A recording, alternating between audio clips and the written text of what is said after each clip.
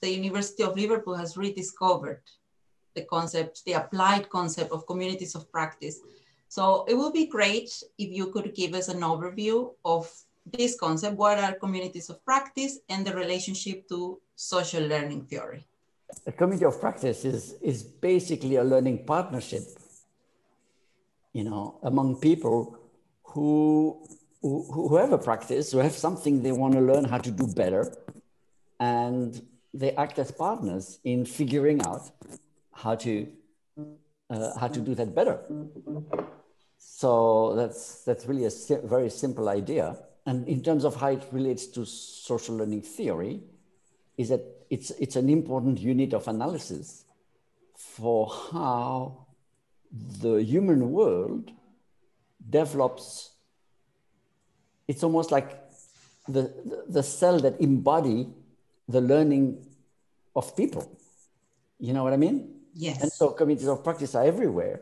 You know, they are not just among professionals, they are also among street gangs, among uh, people who do knitting, and you know, all sorts of groups that are learning together how to do something that they care, uh, that, that they care about. So it's, a, it's an important foundational concept for a theory, from a social theory of learning that mm-hmm. looks at society as both the product of learning and then how these communities as a product for learning becomes themselves a learning opportunity for newcomers. So, so you see what I mean? That yes, the community is the result of learning, but it enables learning by inviting newcomers. Right. So it's like a synergies, they're interconnected, really. Oh, yeah, I mean, they are, they are really about learning okay, about the learning of the community and the learning of new members who join, who join the community. This is great because um, I think sometimes it's very easy to get caught in this term community of practice, but I feel sometimes that it is misused. And th- there is a quote from one of your interviews, which I really like. It is a community of practice is a bad way of getting people to do what they don't want to do. So, can you explain the difference? Why something that is for the purposes of training or project work is not a community of practice and how can you differentiate? And obviously best practice for creating a community of practice. I think a lot has has to come down to your learning theory you see because a community of practice is is is a different learning theory if you believe that learning happens when somebody who knows something passes it on to somebody who doesn't know it, and then learning happens, which is the basis for training, basis for a lot of um, professional development. Okay? Then, if that's what you're looking for, in other words, to transmit what's known to somebody who doesn't know, then that's not a community of practice. But if you uh, if your learning theory or if the appropriate learning theory for what you want to do is that you don't, nobody quite knows exactly what the answer is. And so by working it out together in a learning partnership, by exploring what happens in practice, does what works, what doesn't work, then um, then a community of practice is, is what is what is what you what you need because it's good for things that are not yet known.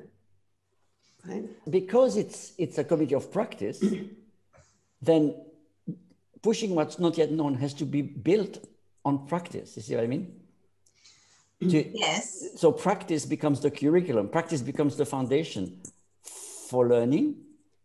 So practice and, being the foundation means it's not that you know what the you know what people ought to know and so you build your curriculum around that your curriculum is what works and what doesn't work in practice from the perspective of the practitioner so the agency of the practitioner matters a lot because they they, they have to drive the practice from from their perspective and if you use a community of practice to do something they don't want to do yeah chances are what they will learn is how to resist Of course. Yes. They will learn, they will, with each other, figure out how, because they don't want to do what you what you ask them to, they'll they'll figure out a way to get around it, to get away with not doing what you want. Can you engineer the interactions or is it engineering interactions within a community of practice? Is it valid?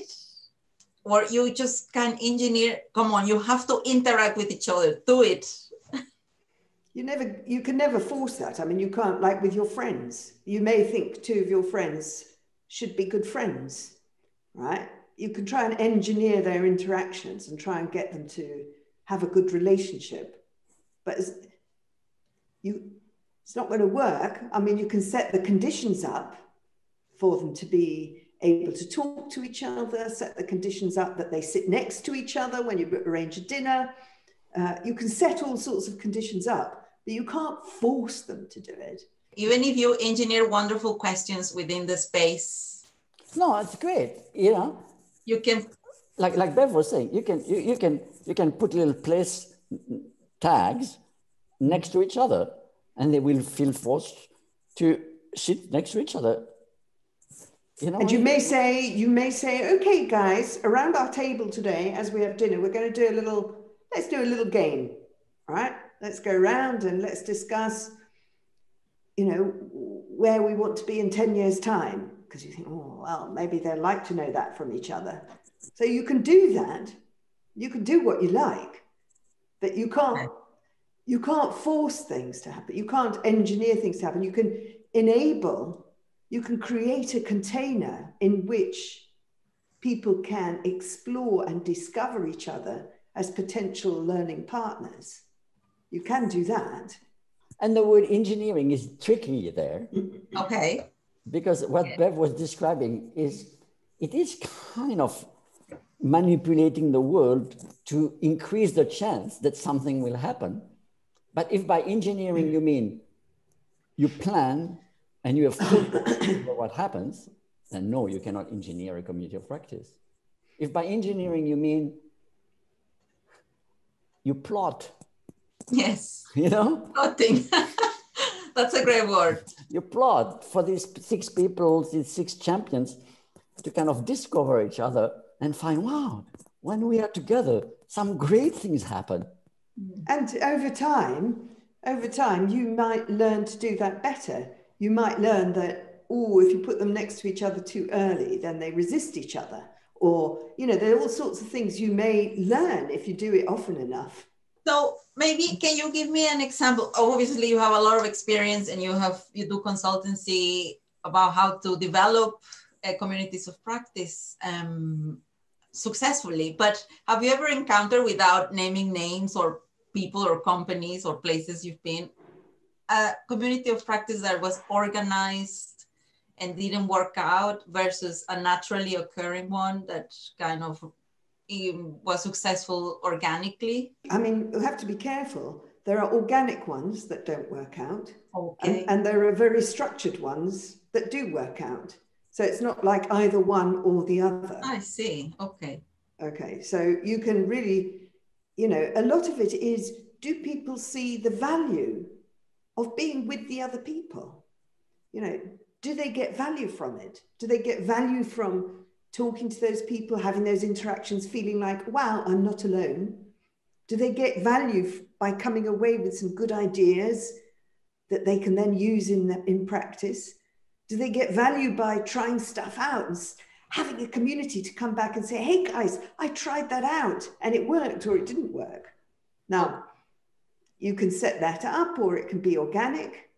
Uh, so it, it's more about value and finding yeah, reasons for, va- for value for people to be together. So you can have a, the, the problem, one problem that we see with people who try to structure community of practice is they, they for some reason the, the, the question of value disappears. It's more like what's a good question? How can we animate people to talk? How can we get people to interact with each other? Uh, oh this is a topic that people want to discuss. Let's discuss it. Okay. Uh, that's a different, those are all, all very, those all might be important questions, but they are not a question of value. Right. Is and actually, I have an example of, of what Bev is talking about. It was in a, in a, in a, in a big manufacturing company.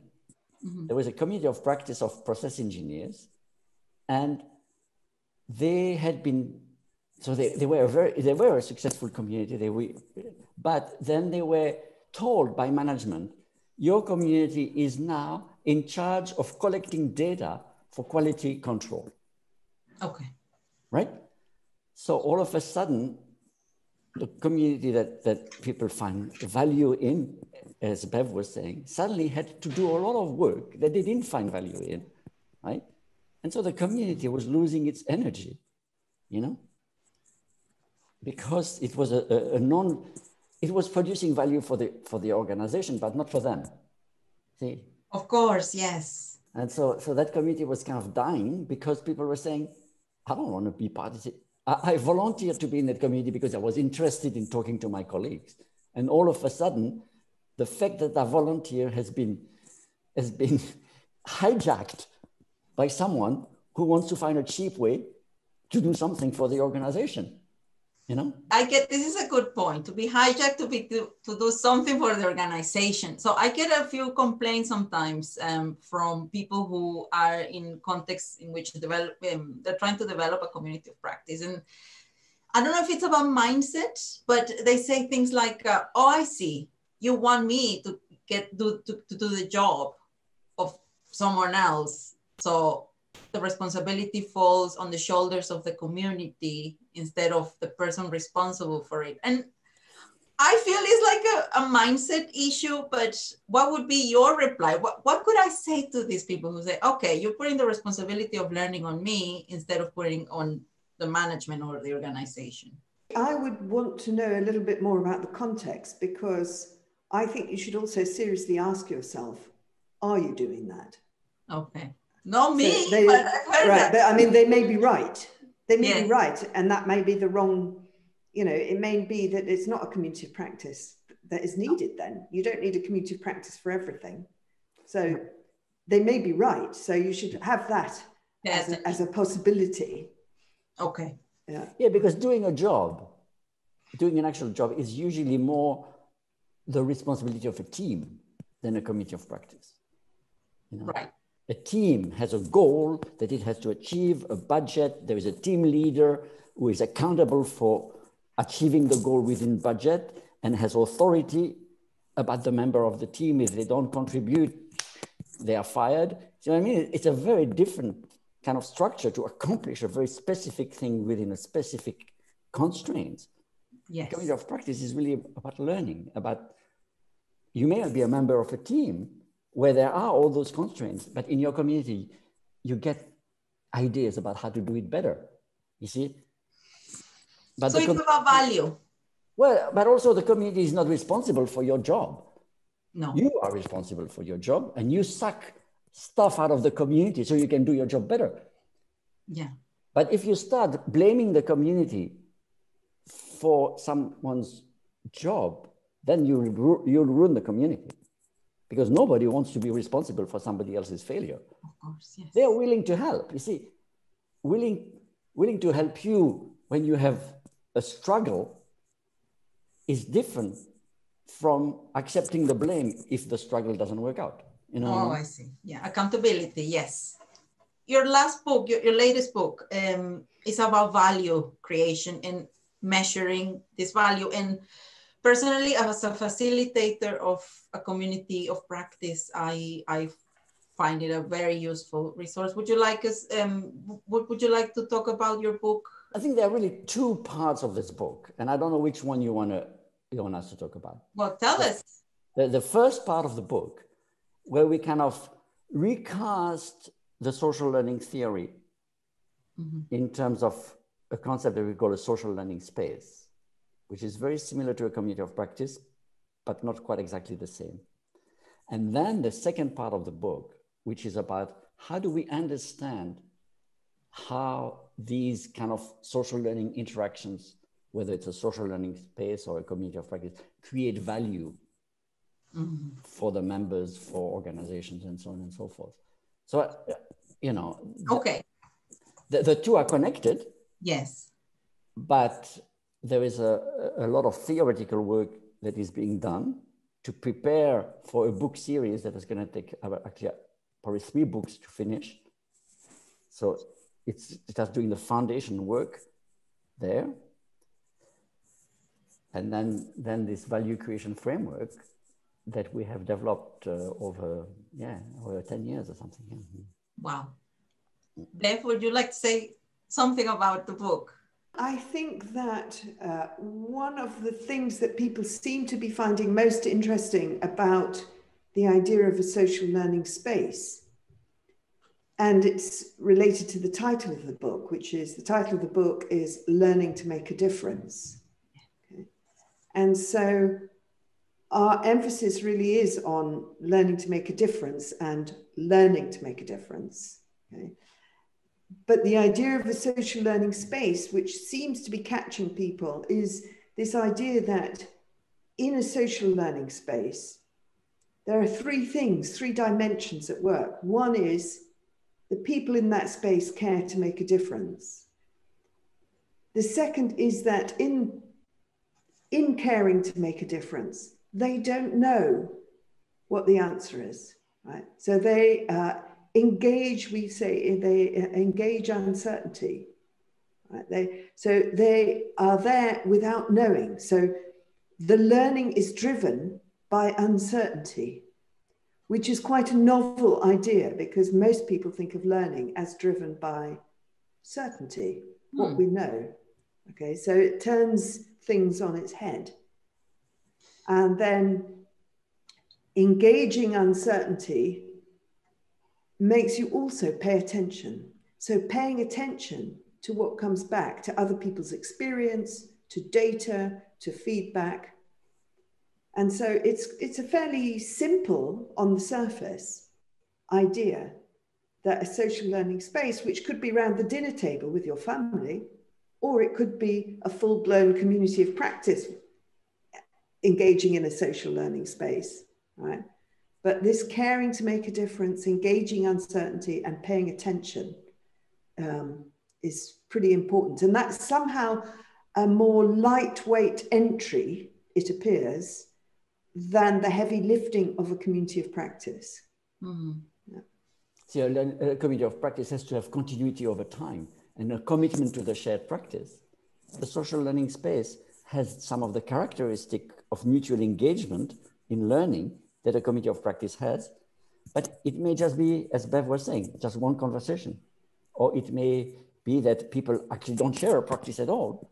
They are com from completely different practice. You have you have a nurse, a, a, climatologist, and a paleontologist, and but somehow they find an intersection where they can really learn from each other. They never become a community of practice because they belong to different communities of practice, but they have an intense moment of social learning.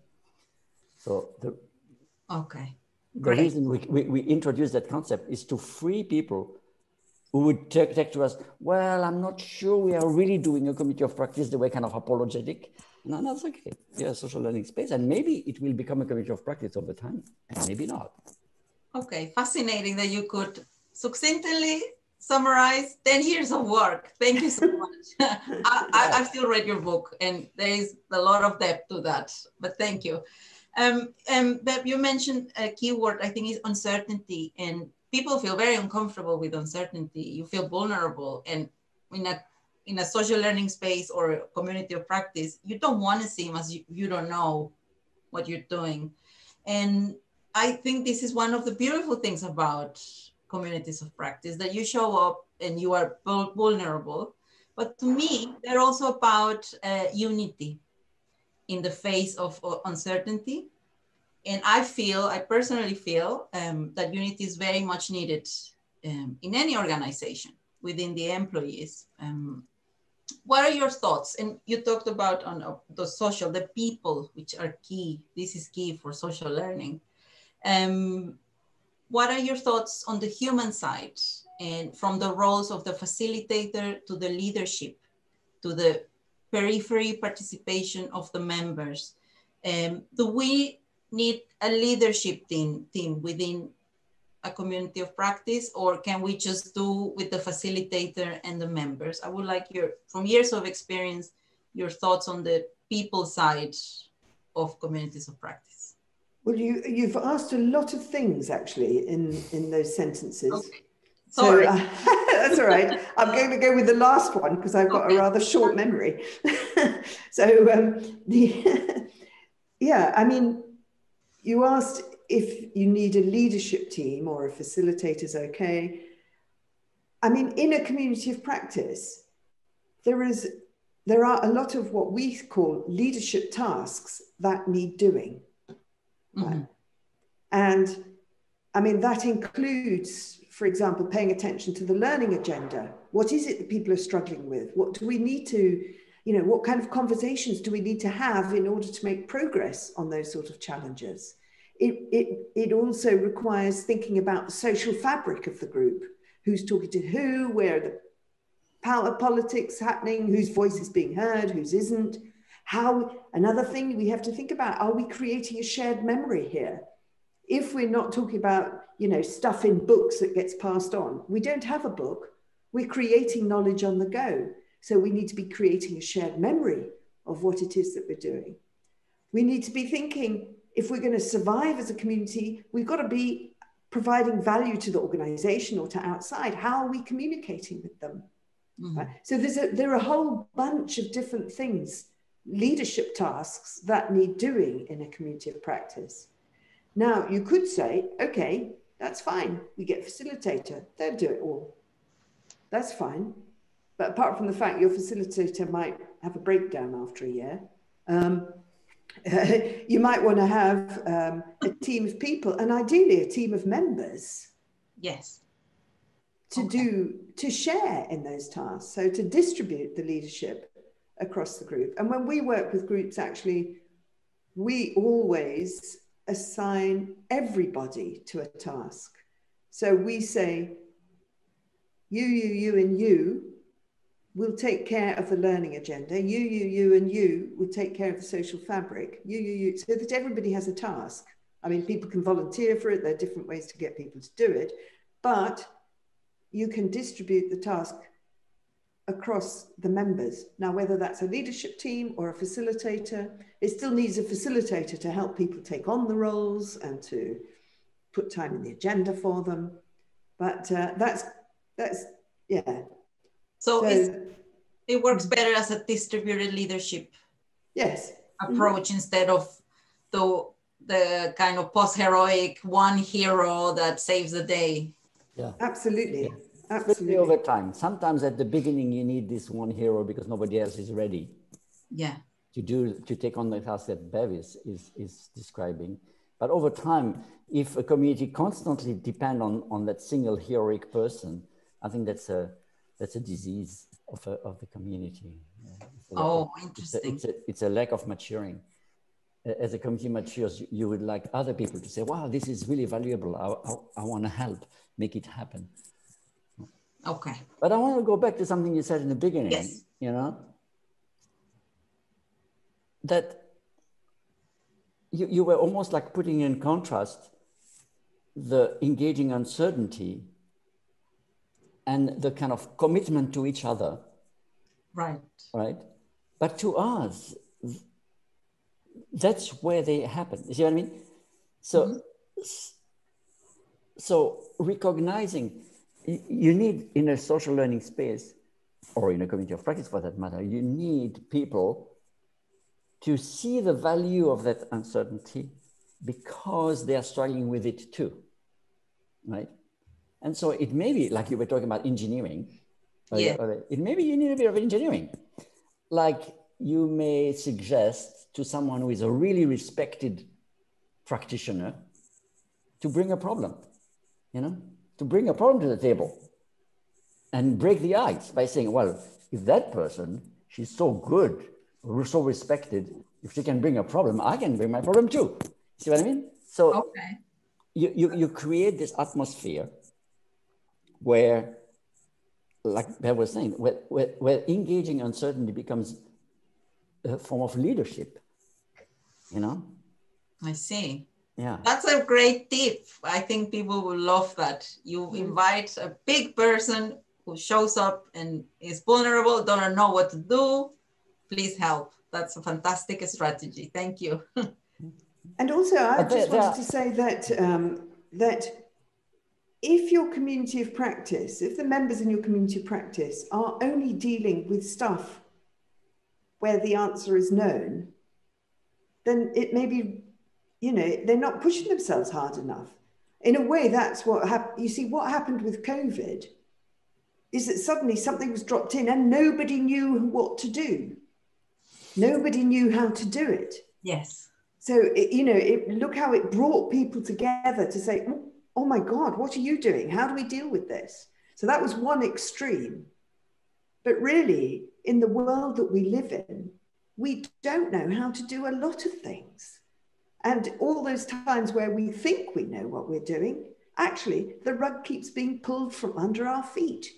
And so, you know, if you're not dealing with things where people are uncertain, then maybe there's you maybe those aren't the right things, you know. And maybe the difference they're trying to make is not high enough. You see what I mean? Because of course, it's like if if you are uh, among nurses, you know, and somebody says, "I'm not sure, I'm not so sure about the color of blood." Okay. a bad, a bad example. You see what I mean? Th- th- There would be shame. Like, what do you mean? You have never seen blood? You know? So, Yes. so if when we, if we're talking about, as Bev was saying, things that everybody knows, then it's it's embarrassing not to know. But Mm. if the difference people want to make is hard enough that for everybody is like, I, I don't really know how to do that, then it becomes much more natural among the group to engage to engage in uncertainty because people will know that yeah, yeah nobody nobody knows how to do that. I think if we try to figure out together, we'll be better off than if we try to figure out on our own. Of course, you always get the odd person who knows everything.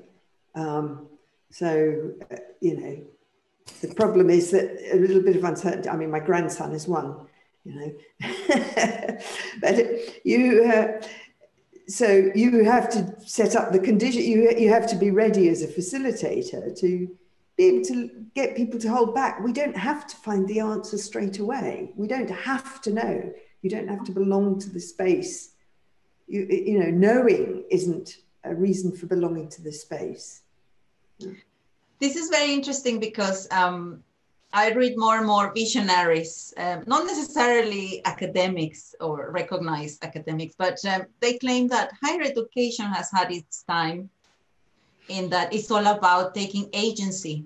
Because, Bev, you mentioned that things change so fast, and what you know today might change tomorrow.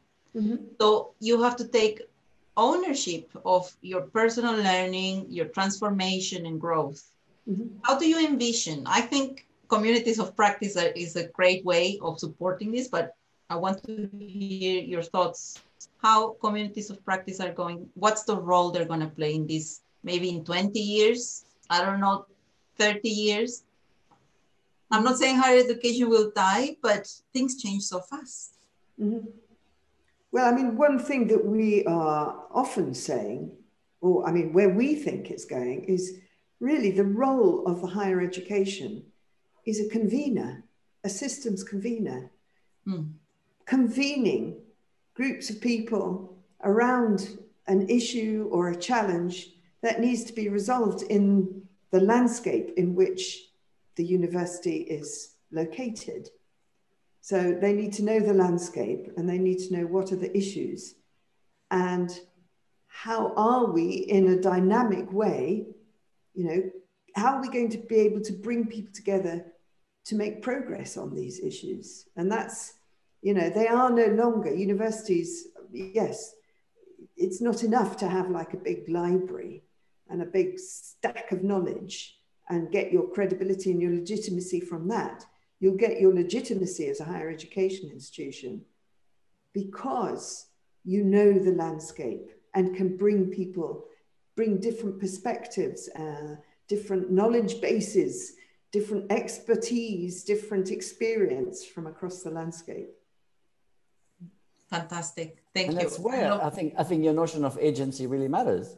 Because if the purpose of education is to take a curriculum that's already known and defined and to transfer it into somebody's head, then agency doesn't matter.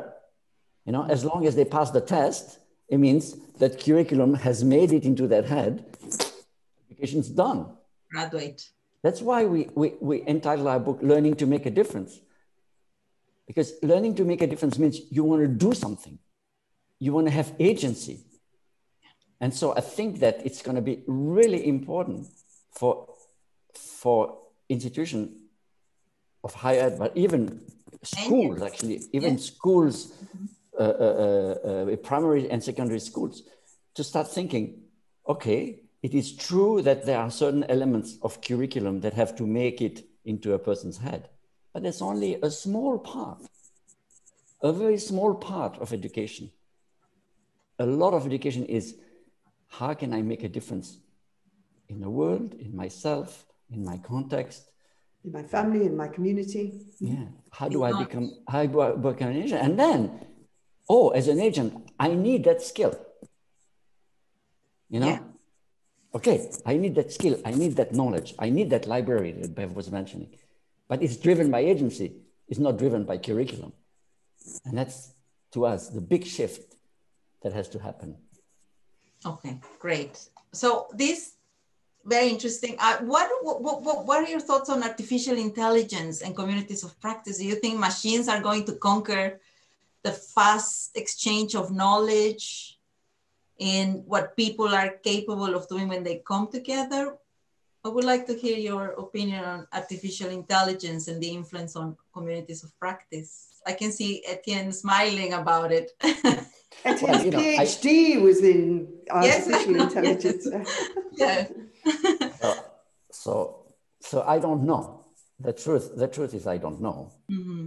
I think that big data and artificial intelligence are going to bring about a lot of changes. Yeah.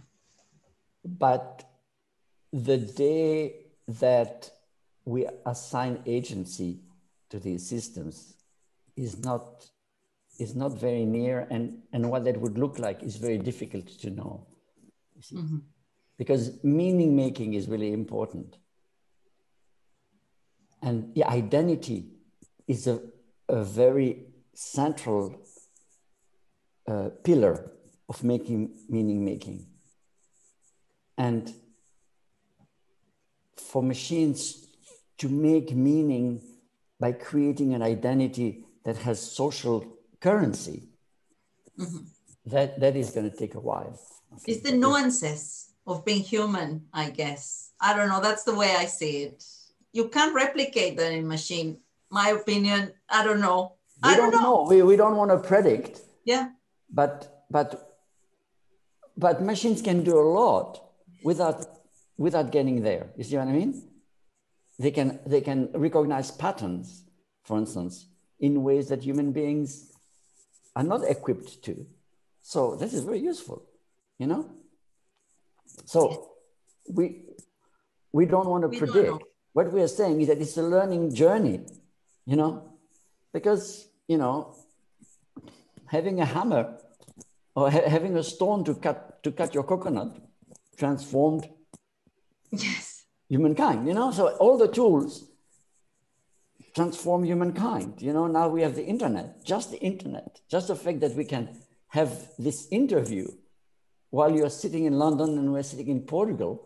You know what I mean? That, is incredible. That is a big change. It is. You know? So I think I think technology is going to continue bringing about this big change.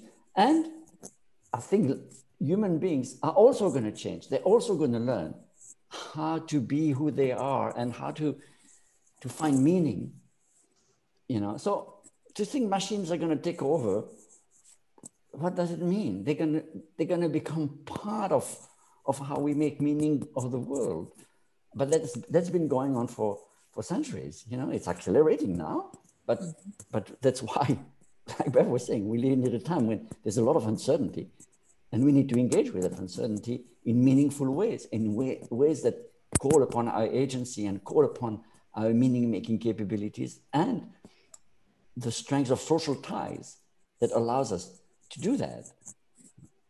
Okay, thank you. Powerful. Yes, definitely. I agree. And the truth is, we don't know. You're right. Um, okay, I guess this is our last question, I think. Um, how can, so I'm, I'm a big fan of always showing students the way because like we, we talked about the curriculum and it's about transferring the knowledge and then you graduate and off you go. But I feel being able to create an effective community is a skill that students should have. Uh, everybody, right, that is interested and passionate about something. Perhaps, perhaps not everybody is interested in doing that, playing that role, but how can we as educators help students access and develop knowledgeability, but also um, become creators of spaces for knowledge exchange, whether a social learning space or a community of practice? How can we support them in this? Do you know something? I was I'm thinking of this school that I visited in Hong Kong, not in Hong Kong, in Singapore, mm-hmm. where the students, uh, the students came. They just had to have a device, iPad or a computer. I mean, otherwise, anyway, they had a, a device. They didn't have lessons. Right? They had to create their own problems they discuss what problems they wanted to solve in the classroom with their teacher. Mm-hmm. But the teacher was a facilitator, and what the teacher taught them was how to create safe, critically aware networks and communities online in order for them to be able to find the best possible information. And um, so it was it was interesting. So, in order for them to solve their problem, they they were very keen on, yeah, making sure that they had a good uh, network, or sometimes it became a community, who would be able to help them to solve their problems, which would help them do their homework and help them pass their tests. uh, but anyway, I was just thinking yeah, of that, that it's a very concrete way that some people are really actually doing it. Yeah. And these were kids of 12, 13, 14. So just show them the way, probably. Yeah, showing them the way, uh, uh, because saying that if you want to be resolving problems or finding out how to do stuff, you need to be able to use the internet, but you need to be able to use it wisely. You need to be critical. You need, in, you know, literacies. You need to be uh, have information literacies. Um, but you and you need to know how to create a network of people around the world. So these guys, these guys were hugely networked, these little 14 year olds, with other people who were working on similar things or adults who were solving problems. Um, yeah. I believe Singapore has one of the best education systems in the world. Am I wrong?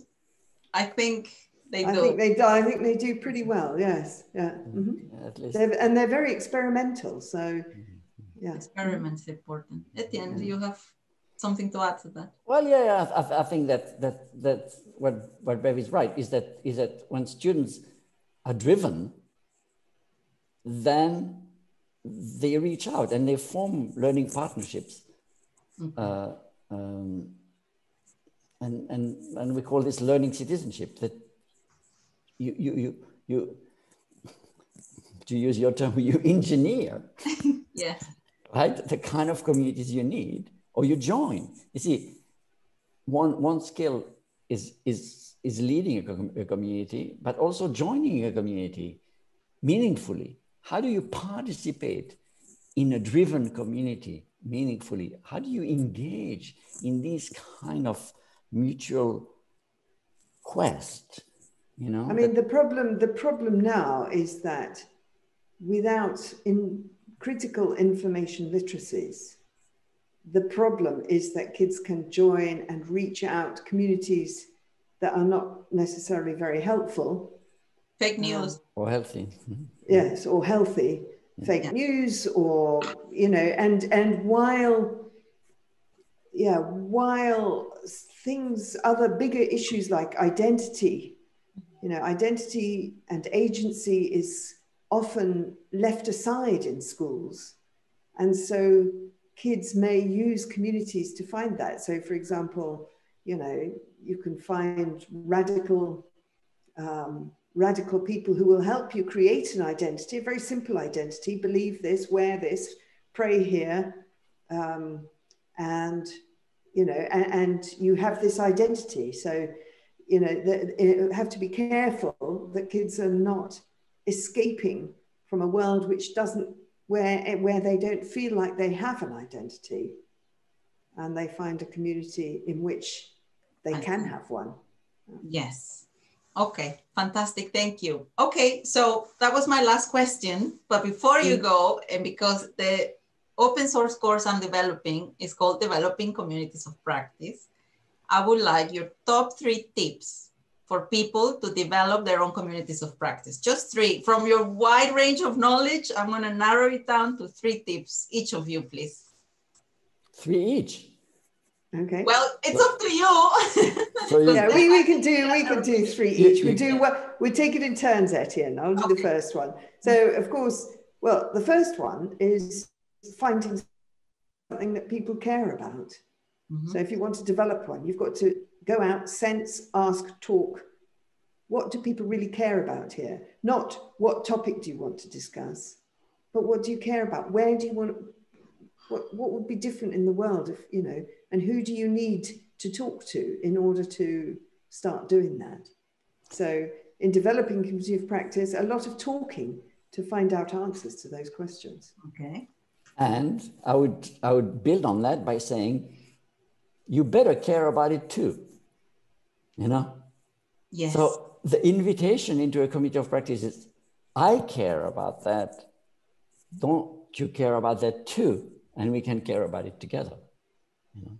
So okay. And number three, who's going to give three? Number three. Um, so as you're talking to people, to pay attention to who are those who care about it so much that they will go the extra mile with you to make this happen. So find yourself your own, find yourself a team of people to help you, or people, find out who are the people who will help to do what. And not everybody will help everything, but locate the places where you can get help. Okay, fantastic. Etienne, you have a final final. Well, I, I was going to say, and building on that, yes. then bring people together around their uncertainty, around what they struggle with. So, one danger of a community of practice when you start is what Bev was saying the list of topics. Okay. So, we have a list of topics, and over the year, every month we'll take, one, we'll take up one.